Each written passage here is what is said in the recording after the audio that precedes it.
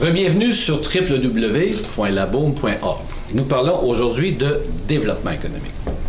Je vous rappelle que lors de l'annonce de ma candidature, j'avais expliqué qu'il fallait tout d'abord contrôler les dépenses et par la suite, j'ai expliqué que nous devions réorganiser la ville, baisser la masse salariale pour dégager des marges de manœuvre. Et j'avais expliqué que ce n'était pas suffisant. Ce qu'il fallait aussi faire, c'était de créer des revenus. Et aujourd'hui, j'ai annoncé, j'ai expliqué comment nous allions, créer ces revenus-là. L'importance de cette annonce-là, c'est de dire qu'il y a un grand virage maintenant à Québec. Le maire de Québec deviendra le leader du développement économique dans cette ville-là.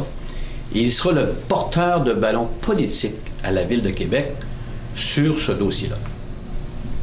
Ce programme-là est en trois points. Tout d'abord, l'innovation technologique, ensuite le développement de l'entrepreneuriat et finalement le travail de facilitateur.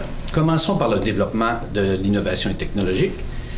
Cette ville-là possède des atouts tout à fait insoupçonnés. Il y a peu de communautés d'un demi-million de personnes dans le monde qui possèdent ou vivent 6 000 personnes qui travaillent dans des laboratoires de recherche, à l'intérieur d'une centaine de laboratoires tout à fait incroyables. Alors, en, développement économique, ce qu'on fait normalement, c'est qu'on planifie ce développement-là en utilisant nos avantages comparatifs. Alors, à Québec, l'avantage comparatif, c'est carrément l'innovation technologique. Sauf qu'on a un problème actuellement, on manque de capitaux. Alors, ce que j'ai expliqué, c'est que nous allions, le maire de Québec allait se relever les manches et allait, avec les entrepreneurs technologiques de Québec, aller à la recherche de ces capitaux-là. D'autre part, il y a deux projets que je veux prioriser à Québec qui sont tout à fait incroyables, structurants.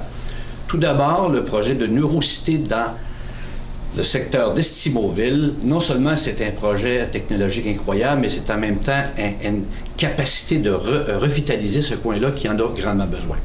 L'autre projet que je veux prioriser, c'est l'École nationale en divertissement interactif c'est une vraie façon de rendre la ville attrayante et de conserver les jeunes ici. Non seulement de les conserver ici, mais d'en attirer à Québec.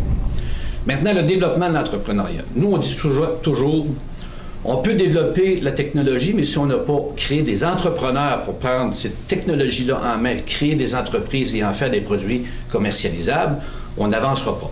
Alors, ce qu'on va faire à Québec, c'est carrément développer une vraie culture entrepreneuriale. Alors, on a une série de posés de projets. Deux. Tout d'abord, le mentorat d'affaires. Vous savez, au Canada, il n'y a qu'une entreprise sur trois qui survit à l'âge de 5 ans. Sauf que lorsqu'elle est mentorée par un individu qui a de l'expérience et qui le fait bénévolement, ce taux de survie-là double. Alors, à Québec, nous allons investir avec l'entreprise privée et les gouvernements et ça va nous donner une capacité de sauvegarder en trois ans 200 nouvelles entreprises et presque 1500, 1500 emplois. D'autre part, ce qu'on veut faire aussi, c'est offrir aux écoles secondaires, aux jeunes des écoles secondaires de Québec, un programme entrepreneuriat-études. Qu'est-ce que c'est entrepreneuriat-études? C'est calqué sur les programmes art-études ou sport-études, où un jeune embarque dans un itinéraire où il découvre l'entrepreneuriat, les entrepreneurs, visite des usines et développe lui-même son projet euh, d'entreprise. Et ça, c'est très, très important. À l'âge de 16, 17, 18 ans, les jeunes prennent confiance en eux et réalisent qu'ils peuvent aussi être entrepreneurs, que c'est accessible pour eux. Un autre point très important concernant l'entrepreneuriat, c'est le multilinguisme. Vous le savez, on a des problèmes à Québec. Il n'y a pas suffisamment de gens qui parlent deux langues ou trois langues, soit l'anglais ou l'espagnol.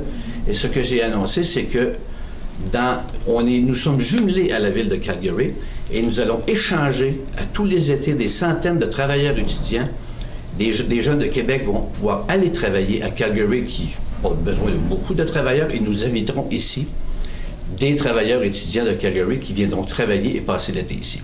Finalement, le maire de Québec deviendra le grand facilitateur pour aider les entrepreneurs qui veulent investir à Québec. J'ai entendu souvent, moi, des, des investisseurs dire que c'était très, très compliqué de faire affaire avec la Ville de Québec dans l'obtention de permis, d'autorisation.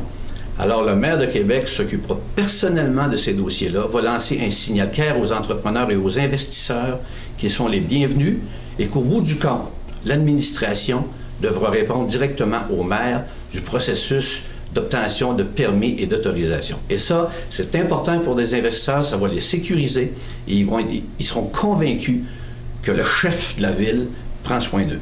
Merci et à la prochaine.